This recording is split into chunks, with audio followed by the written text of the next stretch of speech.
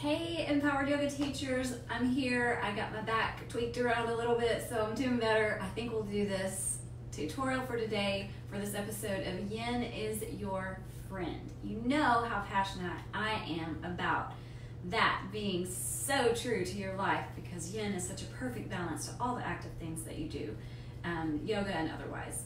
Today we are looking at shoelace and half shoelace pose. Shoelace will remind you of Gomukhasana, cow face pose, but again, we use these other terms because we want to get the youngsters of the world, the people who are just go, go, go and only do the fast yoga, to think a little differently about these postures. So I'll show you the seated on the floor version first. And I will start on a bolster, seated on a bolster. And can't tell from here if you can see my feet if I extend them. So I'm going to turn to the side. Okay. So both legs go out. Now the only tricky thing about sitting up on a bolster like this is for some people that will create strain behind the knee. So if that's the case, you can place something under there for support. So starting seated, and I'll just show you with that option. And then one knee comes toward you. So here, this is great because knee is below, knees are below the hips a little bit, um, which really helps with um, tight hamstrings and other things that might be going on with the low back. And then you cross that foot over and then bring the foot toward you so that the knees are moving toward being stacked. I'm gonna go show you some in-between options here if you know, like already thinking this isn't going to work for me. I'm gonna remove this and use it for something else, but you could have two blocks. If this knee is very high up, actually let me show you from this side. So let's say here, um, that it doesn't want to, to press down like that, you can wedge a block or a blanket in there so this would be half shoelace, and I'll show you that first, and then we'll do full shoelace. So this is an option. And then from here, you can, you can twist. So that's an option that you can do a series here. So you could twist with this. You could side lean. And if you have prenatal students in your class, then if you're going to have them twist, you could have them twist away from the leg that's on top.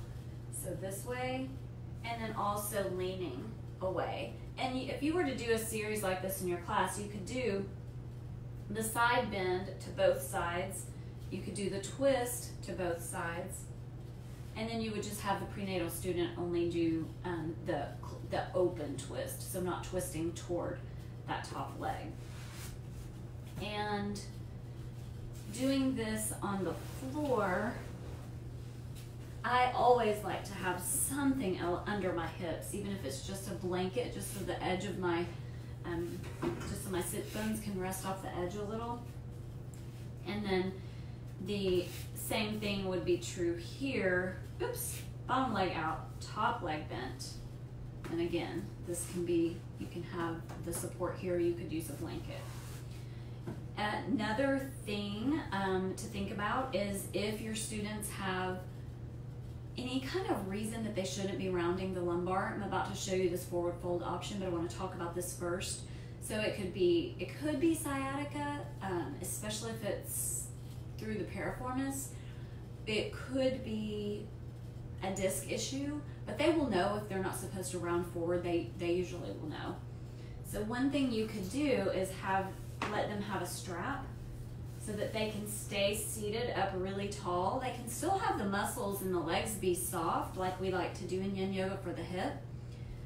And then they can come forward just a little with a neutral spine. And the way you do that is have them pull the shoulders back and lead with the chest, head, neck, chest, and heart. And then that would be where they would go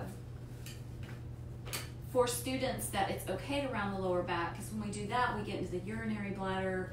Um, uh, yes, urinary bladder lines a little more.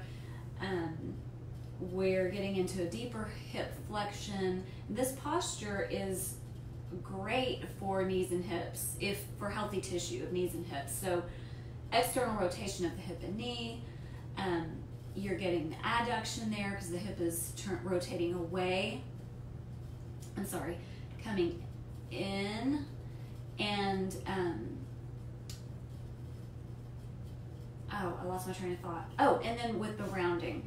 So chin toward chest, that may be it. Maybe round down a little more. And we're not doing this, we're not leaning back. We're starting from neutral and we're just coming forward. So it may just be here, maybe here, could be here.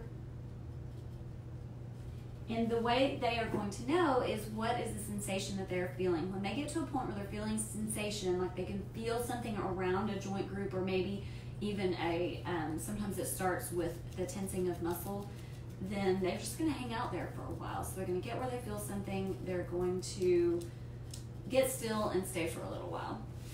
I'm going to turn back to the front and show you the option for full. Hi, Audrey.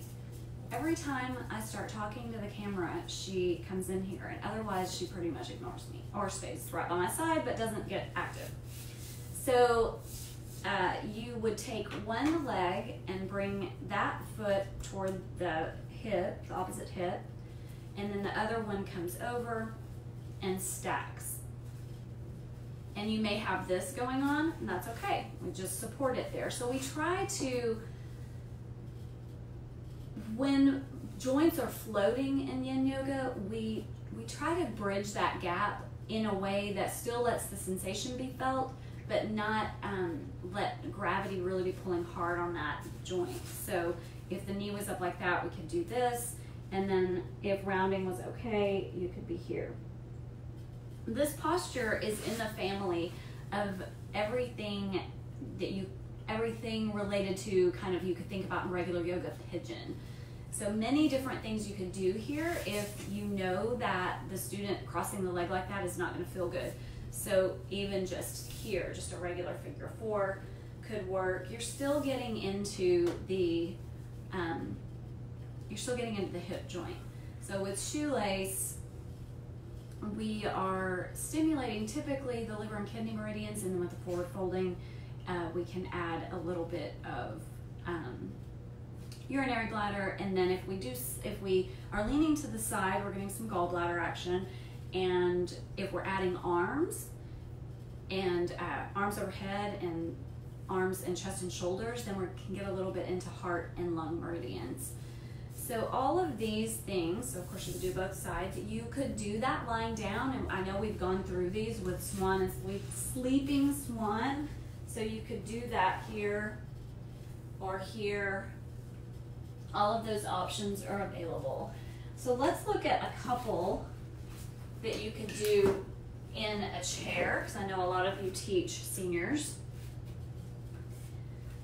And I like to have a strap handy. So sitting, then you could start here. And a lot of times this is a progression I will do with my seniors. I will see how they are here. No, actually, let me let me take that back. I try I start with just a cross leg and I see how they are. And I kind of watch. And then if this looks okay, then I'll transition it and say make it where there's like a triangle here. Okay? So these are variations on, on what, we, what we were doing on the floor. Um, if stacking it is okay, then you might say reach for that foot. And you can see that this is a very similar to the one leg option on the floor. I wouldn't normally do two leg. Now if I have enough chairs that everybody can have two chairs, then this other leg, that, could, that foot could go up on a chair and that feels so good If you do the two chairs, just make sure that extended leg, that the knee isn't hyperextended to the point that they feel any kind of strain there. And then really that's the inquiry. Like you can look and you can kind of think, I, I don't want you to look and go, oh, hyperextension, freak out, because this is a little bit different. Well, it's actually a lot different approach to that. So you want to ask them if they're strained. Now, most seniors, most of my seniors, um, they can have both legs out on that chair and straight and sit up tall and it's fine. Sometimes you'll find that it's a little too tight and you'll, you'll see them leaning back and I might give them a different option if that were the case. But again, you could have just the leg crossed and then you could take the strap around the foot around the ball of the foot. Now, almost always my seniors have their shoes on. So, um, because many of them have neuropathy kind of issues and they just don't want to be, they just don't want to have their shoes off. So it's easy to keep their feet safe because you just put it anywhere on the foot. But if, if they are barefooted, then around the ball. And then you can just be here, shoulders down, and or you could have hands on that strap and then be holding the other leg up. And you see we're getting a very similar thing. We're not rounding forward, but that's okay. If the ability is there or the want or need for sensation there, you could still round forward here. This would work best though if there was an extra chair.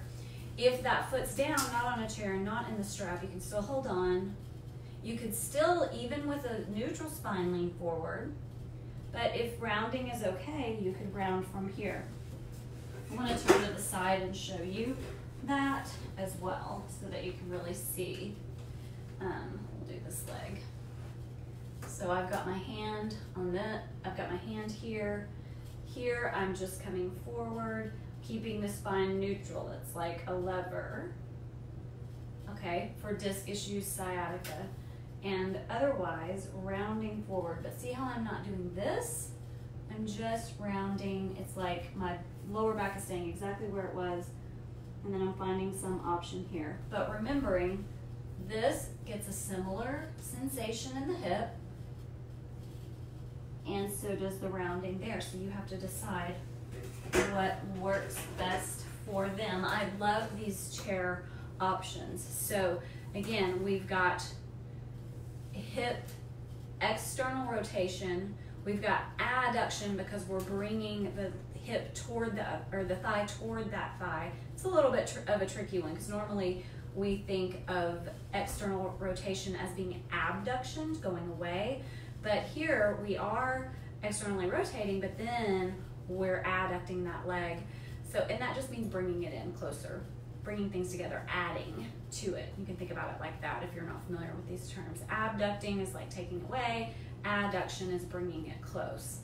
And then you're getting the, I think I already said, the flexion of the hip, and that happens here or here. So this is a good back stretch as well. I think I covered everything. I hope that's good. Again, you can do these on the floor. You could do figure four at the wall. Um, you could do all of this lying down. I have one more option that I'll show you that I forgot about lying down, and this feels good, especially if you have someone who um, doesn't want to do this seated for whatever reason. You can do both legs. So you just cross the legs, like you like we did seated in the chair, and then you bring all of that toward you. Now, you could put blocks under the feet so that someone could stay here, especially if rounding in the back was um, contraindicated, or if you uh, wanted to, you could just have. So I have some students who want more, and the way they get more is by doing this on their back. So it really just depends. I'm gonna switch legs, switch sides, and then I can just take a hold of the feet. Now, if you bring the feet up and away more and then pull them down, for me, that gets a lot more in the hips. So you can really just have your students play with that. You want to ask them questions. What are you feeling? Where are you feeling it? And really, if you're not doing this with your yin yoga students, you're kind of missing the point because we're trying to set things up for them in the most beneficial way for their skeletal structure.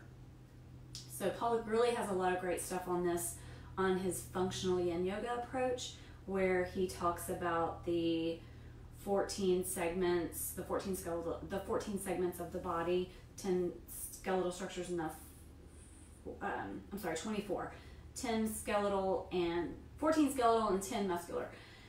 It's really, really good. I do cover some of that in the yin yoga training. So if that's something you're interested in, come and join me this weekend in Little Rock for the 15 hour yin yoga training that's what I have for you today. Thanks for being patient and waiting for this to come in the afternoon.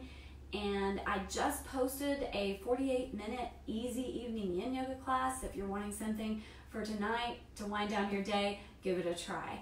I'd love to hear from you in the comments and or shoot me a DM. Have a great one.